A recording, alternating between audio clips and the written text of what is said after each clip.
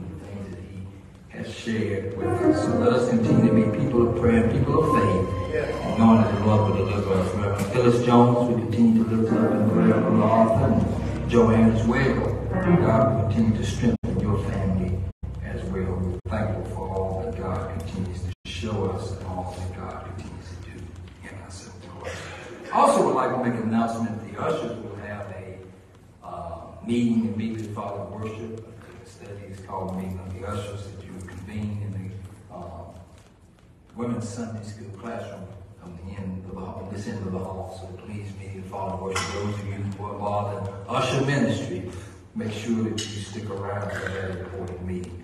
Also, there's a lot of things that will be starting back this month. We will uh, convene with our fifth Sunday service. There are five Sundays in, in uh, January, and it will be held at Gethsemane Missionary Baptist Church. The new time will be about 2.30 that we'll convene, and we're to try to get everybody in and out in an hour or hour and a half, somewhere like that. And I will be doing all of the teaching for 2022 for the uh, Salisbury Rowan Missionary Union. Uh, we'll be talking about missions and our role and our responsibility. And certainly we look forward to coming together that we can share some great teaching that hopefully will compel us and inspire us uh, to continue to do what the Lord has put before us. Also, on January 15th, next Sunday, the Mount Zion Missionary Baptist Church will have the 46th annual MLK Junior Humanitarian Awards Day service, and that service will be held at 2 o'clock as well on, on next Sunday. They have it also in person, and you also have the opportunity that you can watch it on Facebook if you don't want to attend in, per, in person. And then I believe that on that Monday, the 16th, which is the day that we celebrate the legacy of Dr. King, uh, there at the Civic Center, they have their breakfast. Is that still 8 o'clock, t.o. breakfast on, I think it's eight. Eight thirty. Eight thirty. Eight thirty, eight thirty. And Sister Stanfield does have an announcement, and I'm gonna ask her to come at this time with her announcement. Yes, Had some of the same announcements. Good morning. Good morning. As we approach Martin Luther King um, Jr. weekend, next week is a time of remembrance and reflections. And there's an organization that I want to tell the church about that we learned at our December meeting. The organization is the Equal Justice Initiative. Now, they do many things, but the most important thing they do is a commu- community remembrance project. This project is to put up historical markers in cities and towns dedicated to people who had died by the violent death of lynching. And as they guided us through our meeting last month, they, uh, they were telling us historical factors that in North Carolina, between 1877 and 1950, 100 people died in North Carolina due to this vile crime of lynching, with six of them being here in Salisbury, Rowan County. Deaths so horrible that today they're considered acts of domestic terrorism and they are federal hate crimes.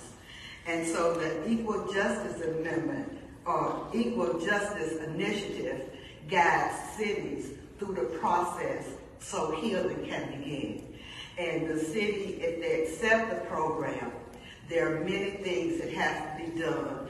Uh, first thing, and I, I want to say Reverend Bruner of Trinity Presbyterian Church did our research and searched historical documents and presented all of those documents to the city of Salisbury.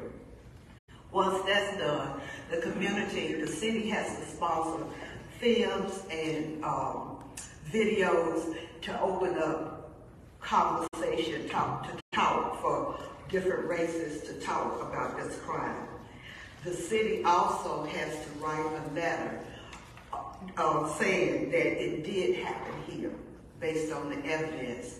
And then lastly, the city uh, issues a proclamation of reconciliation that it did happen here, they acknowledge it, and that through this proclamation that they are sorry for it. So it's a formal apology by the city. And once all that is done, the Equal Justice Initiative presents to the city a marker.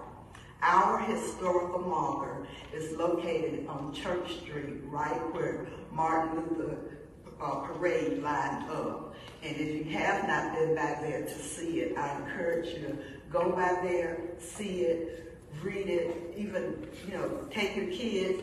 It is to generate conversation so this crime will never happen again. And if you know Dr. Bruner, if you see him out and about, thank him for presenting all the documentations and everything in the city that came on board to initiate this initiative. Um, in addition to that, the Martin Luther King Parade is next Saturday. They'll have activities at the Civic Center from 12 to 1. Uh, Sunday, as Reverend Bracken said, the his humanitarian award, and then breakfast. And you have to reserve your place to go to breakfast, but it's sponsored by the city and it is free. And I have a telephone number if you're sitting at the church that if you want to go to the breakfast, that you can call and reserve your place. Uh, the Equal Justice Initiative has put up markers in 20 states so far. They gave us a very nice booklet on the work that they do. And if you'd like more information, you can visit their website at www.eji.org. And I'm close with this that they said. There can be no reconciliation and healing without remembering the past. Thank you. Amen. Final announcement, on next Saturday at 10 o'clock, we'll be meeting with those who are part of the food ministry here at Jerusalem Baptist Church. Or if you would like to join the food ministry, uh, some very uh, important organizational things that we'll be talking about and putting forward as we move forward with our food ministry. Thank you for that. There is a word for us today found 34th Psalm. And I simply want to read verses 19 through 22. It's Psalm 34, Psalm David. Psalm 34. You have it, say amen.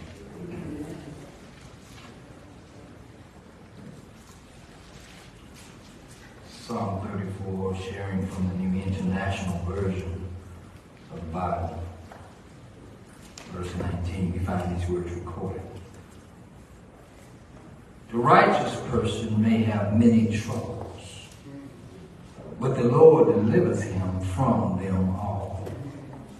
He protects all his bones, not one of them will be broken. Evil will slay the wicked.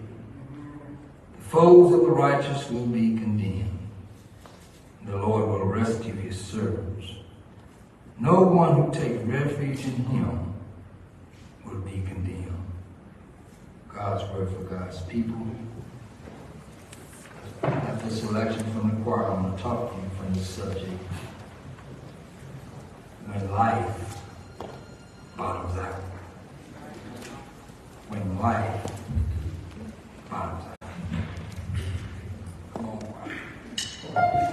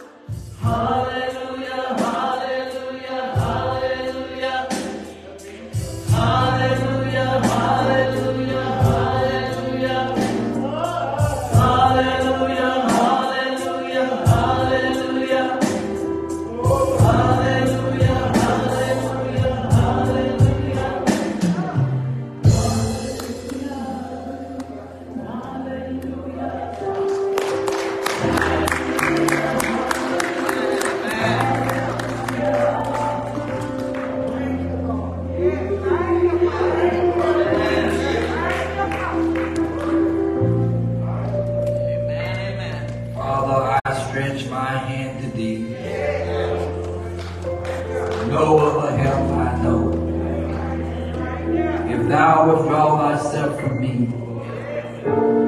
oh, whither shall I go? Lord, we pray right now that you can bring our wandering minds into focus. Somebody here today, Lord, may come to know you in a way they've not known you before. Some heart may realize, Lord, that you've done great things, Lord,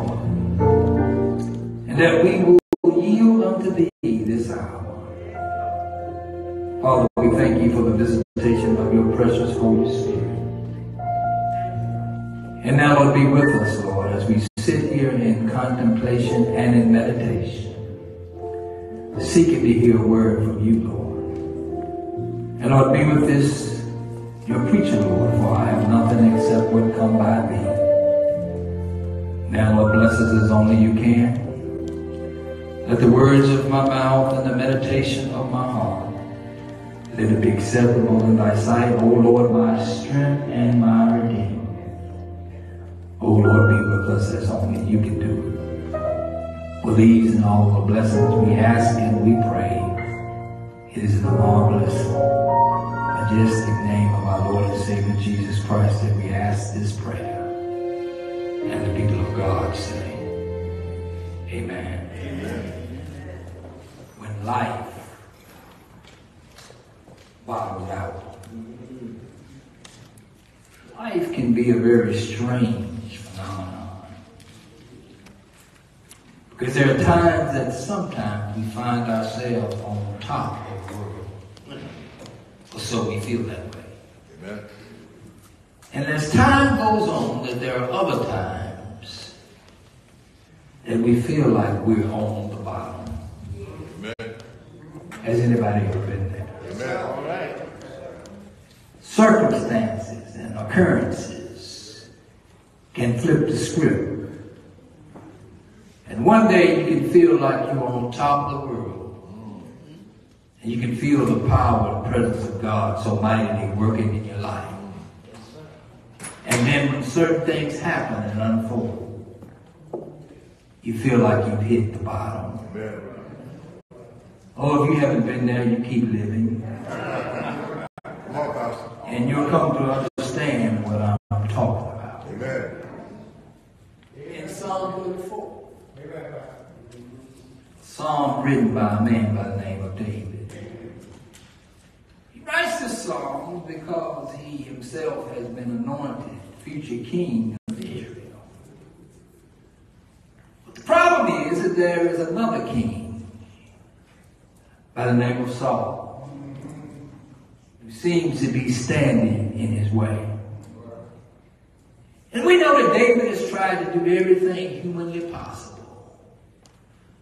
to give King Saul all the respect and due and honor that is due to him while waiting for God to open up a door for him to be king of Israel.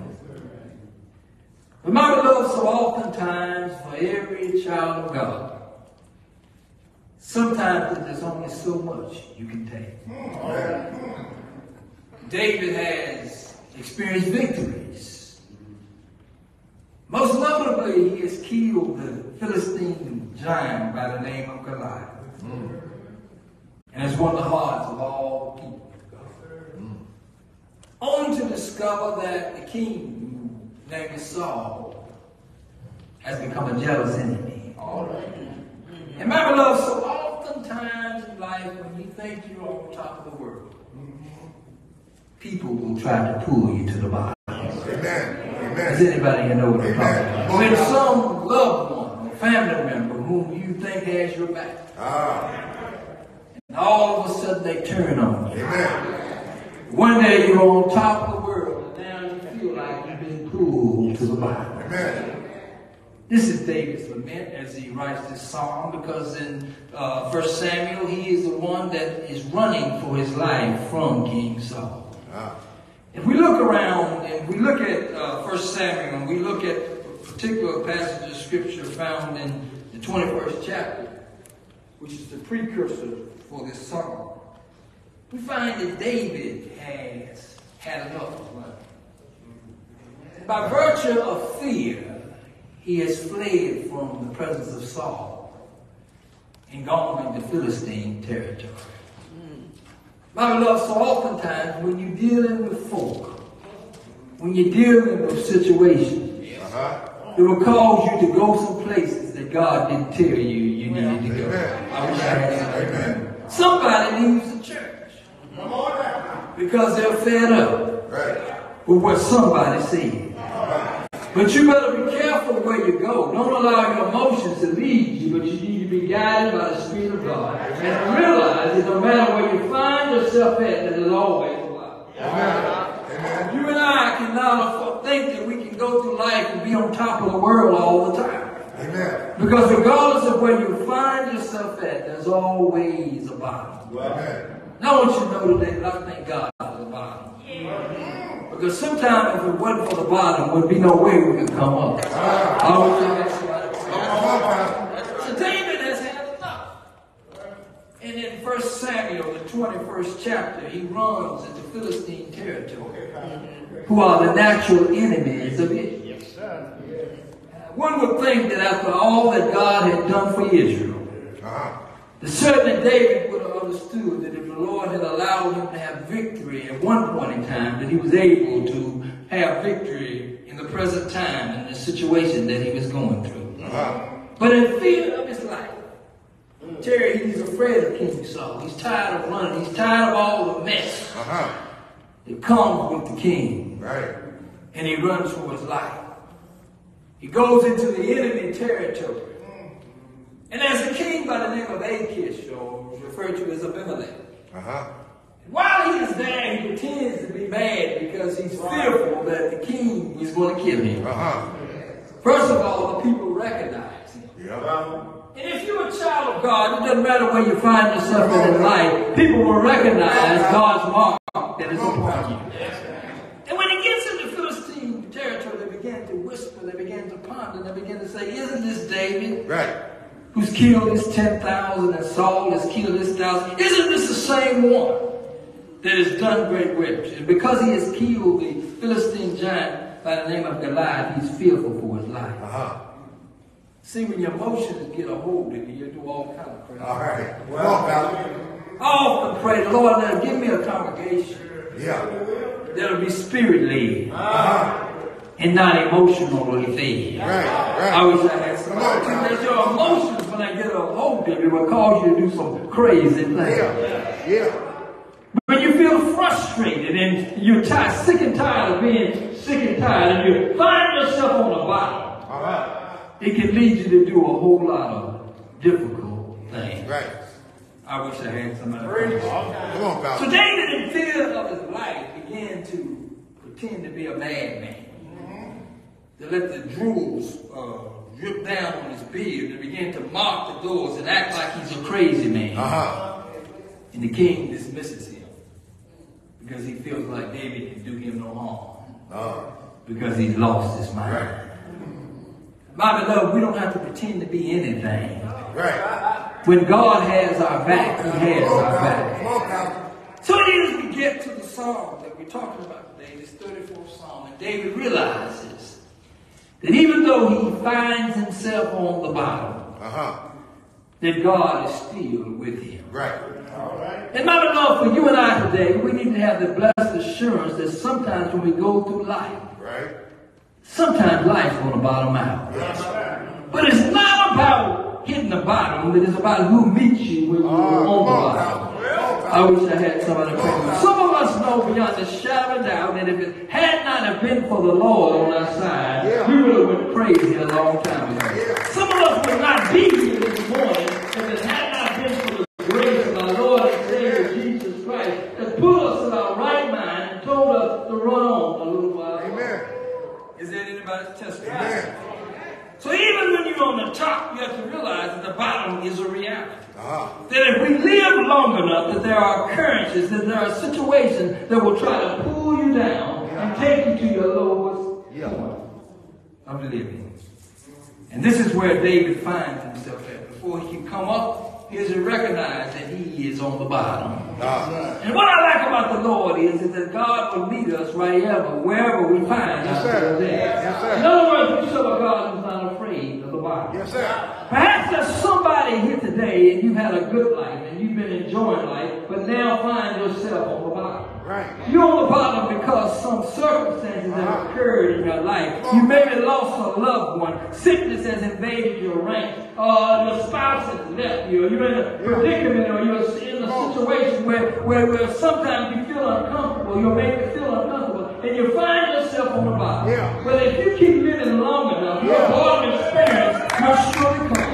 In other words, every day is not going to be a day of, uh, of your liking. Every day is not going to be a hunky-dory day. Every day is not going to be a good day. But sometimes we find ourselves in the bottom in spirit. Yeah. I wish I had somebody Come on. So what does David do when he finds himself in this predicament? He writes this that, that many are the afflictions of the righteous. Right. In other words, David looks back over his home life and he recognizes that if it had not been for the Yeah. Lord, he wouldn't be where he is right now. And even though he's at the bottom, he has to depend on God. Is there anybody when you hit your lowest point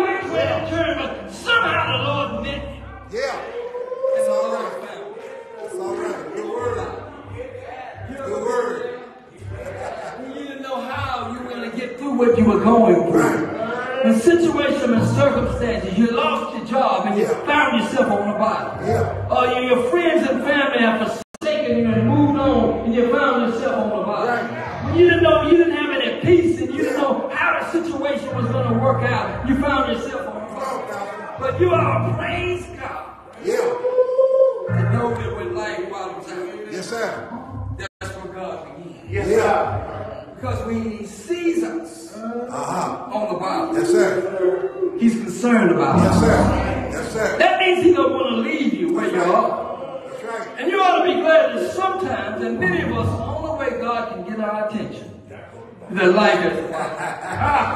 In other words, He let us go through life unscathed Yeah. and prosperous all the time. Yeah. But sometimes you got to know the value of prayer. Right. And you got to realize that sometimes when you're going through difficult periods, that you got somebody with you, you're not in this by yourself. David said,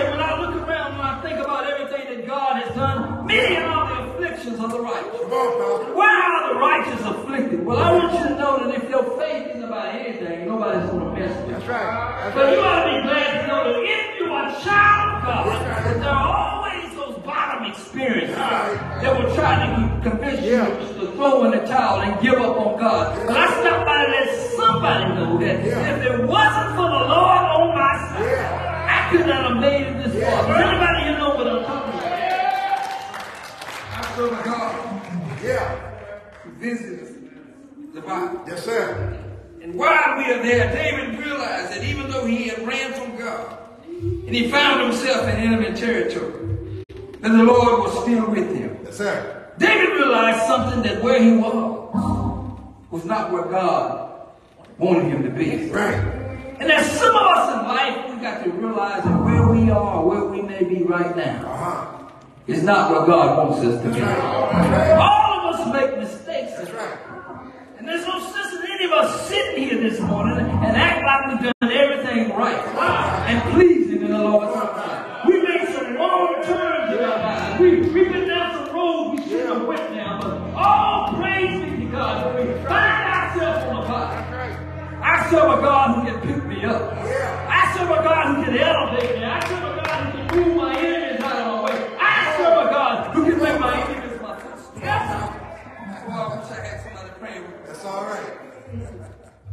difficult in life bottoms out. Yes, sir. Find ourselves in precarious predicaments. But we began to discover, just like David did, that when we hit the bottom, uh-huh. that we soon discover that there's somebody on the bottom with us. Yes, sir. I want somebody to know today that regardless of where you find yourself at in life, David says that the righteous person may have many troubles. Right.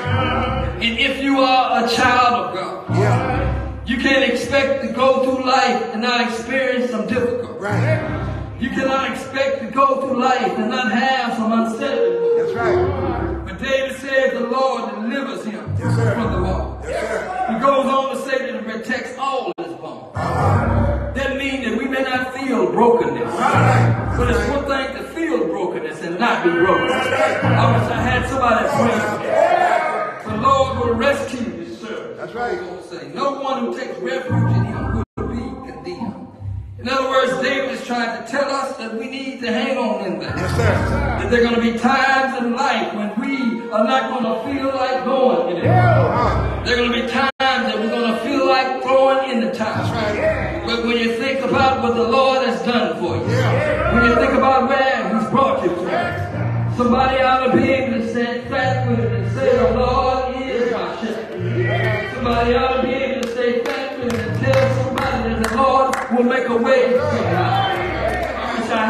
somebody praying with me. When I look back over my own life and I see where the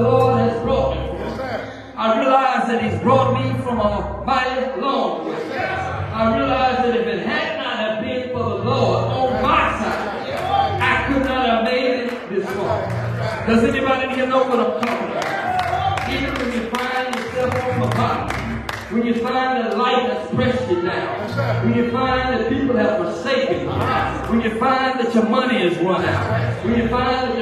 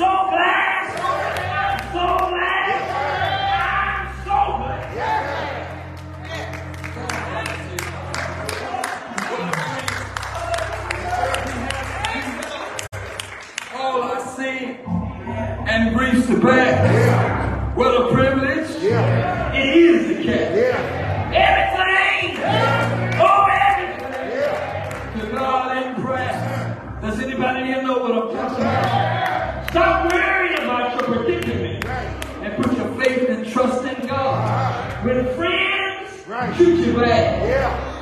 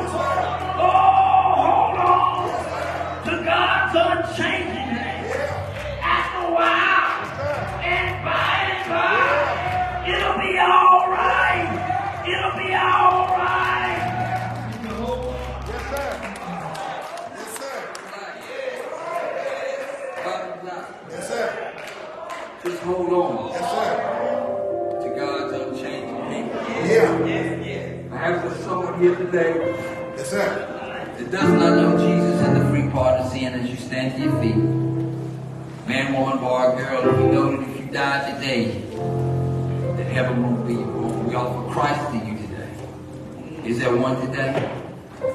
If you're here today, you, you're without church home, you're looking for a church, and the Lord is speaking to your heart. I bet you come by letter Christian Experience candidate for baptism. But I often say to all of you, don't put off tomorrow. What is telling you you need to do today? Is there one today? If you desire special prayer,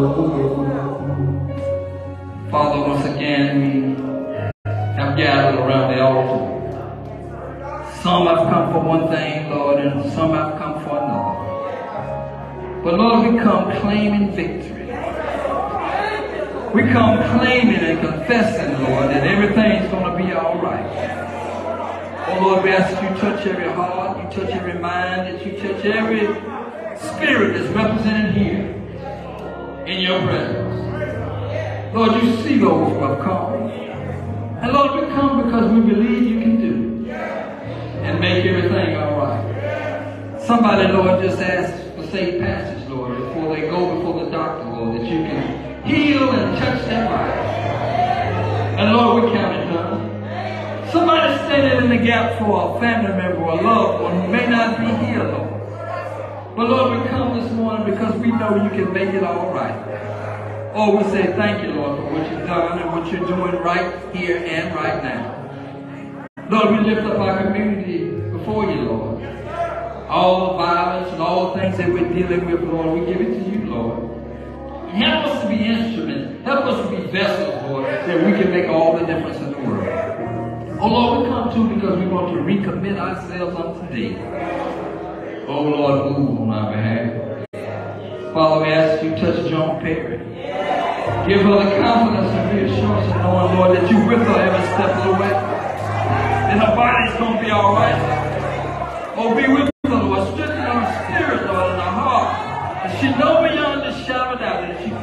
faith and trust in you. That everything's going to be all right. Oh, Lord, look throughout Jerusalem, Lord.